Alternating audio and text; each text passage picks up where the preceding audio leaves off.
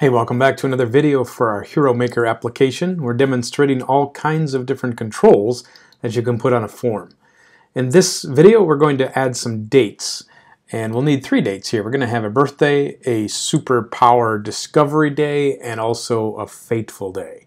So three different dates that are important to your character. So you can name them something besides what I do, but let's try these. So let's start with a group box because we have more than one item we'll do three different dates. So let's make the group box uh, wide enough to hold a date control. Okay, so let's go find date. So the date time picker is what we need for a date. So let's just drag him over to here and let's give it a label. All right, so we got a label and let's give this uh, control a name. Okay, so I'm going to add two other controls. I will pick one for the superpower discovery date. And so in the name of the control, let's name it as date underscore discovery.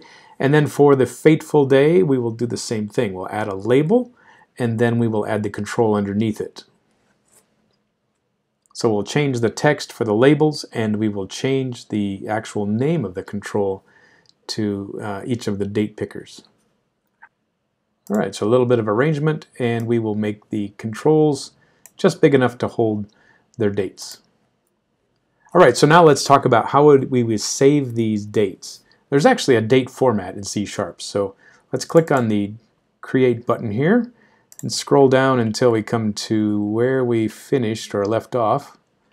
Let's see here, we're in status messages, that's too far down. There we go, this looks like the part. So let's put in a new section called dates. So if you type in date as a data type, you will find that there is a choice called date time. And let's just name one called birthday. And he is going to be equal to the control. So the control name was called date underscore birthday. And all we have to do is capture the value. And that's all there is to it. The date control saves a string of date time format. So that's pretty simple. So I'll add another date time. I'm going to name this date as the superpower discovery date, and we will capture it from the second control. And we'll do the same thing with the third date. We'll call this thing Fateful Day. So I don't know if that's the day they die or some horrible thing happens to them, but we have three dates. Scrolling down toward the end, we get into the part where the status message is being updated. So let's add some more.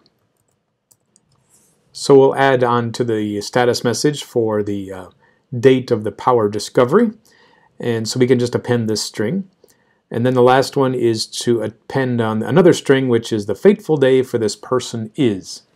And so it should give us a status update when we run the program.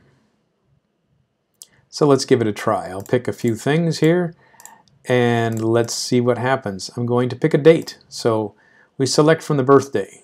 So the date picker allows you to browse quite standardly and quickly like all programs do.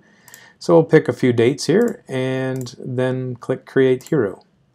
So you can see that the string value is accurate. It does show the numbers that I, or the dates that I picked. So I did something wrong with the second item. You notice here it says the discovery tells me that I am actually picking the date picker value. So what did I do differently about the second one? Let's check my code. So let's see what I did here at the very end, these last three status updates. This one here has the date power discovery, which is the actual control name. What I meant to put was a string name, which is called superpower discovery. So string instead of control. Okay, let's try out the program and run it again. So let's see, I'll so let's try it again. I'm going to run the program. I'm going to pick a few things here and let's pick a date and click go or create hero. So now you can see that I am printing actual dates here and they are printed as the correct format. So it is possible to print in other formats. There's lots of ways to format printing. Uh, we're just taking the default right here. So if you've got preferences for that, just don't uh, accept the defaults. You can look them up and change those formats to have hyphens, long dates, short dates. You can include the time if you like or not. So that's uh, some research for you if you don't like the way the prints the dates are printing now. So that kind of brings us to the end here. We've uh, This is a simple control with three different dates. Next time we'll move on and we'll do some integers with a number counter.